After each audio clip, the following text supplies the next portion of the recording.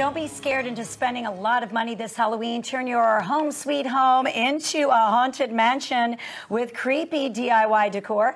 Expert Bianca White is here to show us how it's done. Get this every project is actually under $10. How are under you? $10. Hi, Christine. Thank you guys for having me back. Of course. I Yes. love this. These are cute and clever, and the fact that they won't break the bank, sign me up. And oh, you have three, right? we have three Halloween decor projects, and each of them costs less than $10 to make. yes. And let's go into the first one. Tell me more about this. All right, so this is our caution tape wreath, and we are going to start this project using a pool noodle, some duct tape, Got it. a lightweight skull head, and a hot glue gun. Terrific. And uh, and of course some sewing some caution tape. And some caution tape. That's the Yep. key. You can use sewing pin, a sewing pin, but you can also use a hot glue gun as well. Perfect. All right. All right. How do we So start? we will start our wreath by folding the two ends together. So Got if you'll it. go ahead and hold Sure. that for me.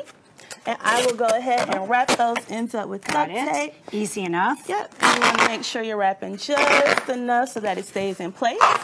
Perfect. All right. We all have this. We all have these lying around our garage from yes. summertime. And it is the off season right now. And Yep. I actually got these for 10 cents.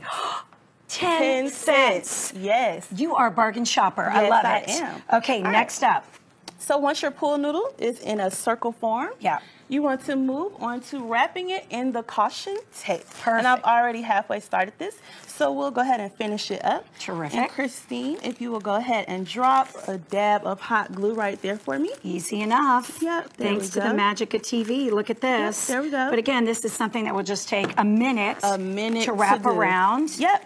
All right. Okay. And make sure you're using a low temperature glue gun so that you don't burn through your caution tape. Oh, great Yep. tip. All right. Okay. So we will go ahead and glue our bow I'll onto the front. for you. Yep, there we go. Great. Pretty easy. And for like the uh, skeleton head, where do you? I mean, do you go online? Do you go to dollar stores? where do you get? all of these materials from the dollar store, Per- and you would be surprised that you can actually find caution tape in the In the dollar dollar- store, and they actually have zombie themed caution tape too. okay. All right. Good. So once that's on there, you want to go ahead and glue your skull head on top. Got it. You want to make sure you're using a lightweight one that I was just about to say that, That guys. This is not one of the heavier ones. Right. Obviously, it wouldn't stay with just some hot glue. But look at how cute. All right, and that is literally it, and we are done. done, done. Yep. And I'm going to put it down carefully. And, if you want to add a little extra, say, cute. you can add splashes of blood and a big spider. And these come two in a pack at the dollar store as well. I love it. You All are right. so good. Thank you. Thrifty. All okay. right. What is this now? So oh, these, this is one of my favorites. clever.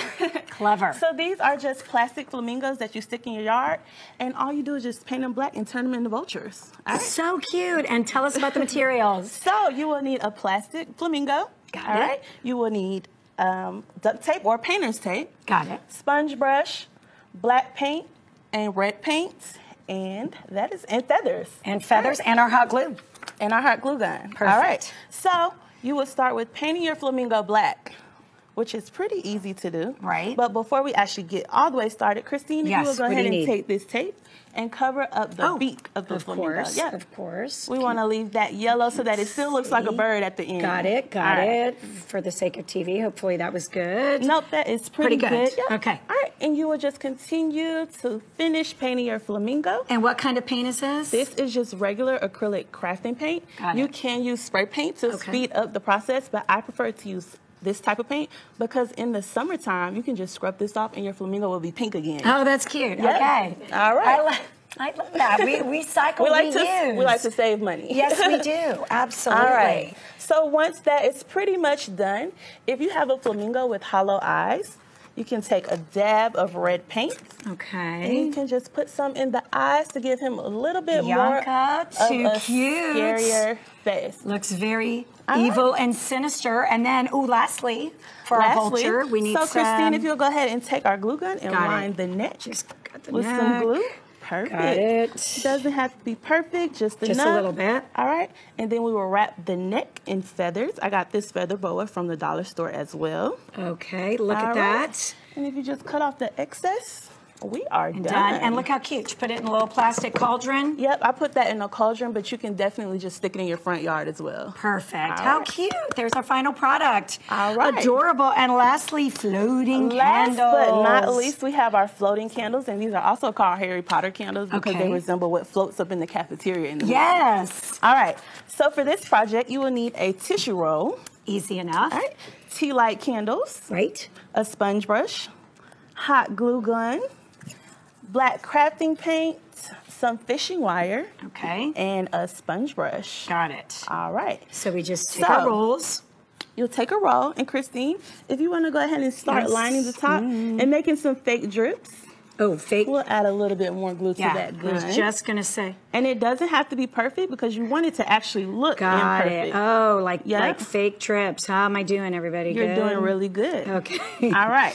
So Good. while you finish that up, I'll go ahead and get our, get our paint ready. Got it. I'm gonna do a little bit more down here. All right. I'm going to town. All okay. right, that is perfect. All Okay. right, so this dries pretty quickly. Got it. All right, and then after it completely dries, you want to go ahead and you want to start painting your candle black. Okay. And again, same kind of acrylic paint. Acrylic paint, I love this paint. It is 50 cents at any crafting store. Got it. Yeah. And look at that. It really, I was worried right. it wasn't really quite dry, but it already is dry. It is already dry. Okay. And you will completely cover that. So we'll go ahead and leave this. Okay. And after it Put this off to completely the side. dries, yep, you'll move on to the next step. So we'll go to this one that we have right Sure. here. So this one is already dry. All right. And the next step is to take a pushing pin or a needle and you want to create four holes. So you want to put two on the back side Okay. and two on the front side. Got it. All right. And that's to hang our wire. That is to hang our wire. We want to pull it through. And so with your fishing wire, you want to pull it through diagonally on the inside so that it creates an X right there. Perfect. You All guys right? see the X, right? And what that X go. does is support the tea light candle once we drop it in there. Okay, perfect. Oh, this is fun. Yeah. So that is pretty much done. Done. And Christine, if you want to go ahead and drop that tea light right on in there. You know it. You know Yeah. it. Yeah. Okay. Drop it in there. All right. Push Mm. it in. And if your tea light is a little bit smaller, you can line that with hot glue just to secure it a little Okay. bit. All right. And then, And then these wires right here, you tie them together and you can hang them from anywhere. oh, that is so, so cute. And if you want to hang it to your ceiling, you can just use a thumbtack. Okay, right, perfect. Um, I kind of could have done that outside on our front You porch. You could have so done that outside. And then I like that you said if you didn't want to hang them, you can actually do that as well. Yes, you can set them on a candle holder or any type of pedestal just to give it a little spooky look. I added a spider down here. Ooh, I see that our, Yep. our dog also And well, our jackal. dog, Yeah. and if you want to hang it, like I said, you can hang it from anywhere. And our dog is holding one in his mouth, and this will be really cute on your front doorstep. Yes, such great, clever ideas. If you want more information about these spectacular crafts, simply visit Bianca online at biancaoctavia.com or dot right. co. Dot com or dot co now. Okay, oh, Dot both. excellent. See, you're dot both. You're teaching me all these things.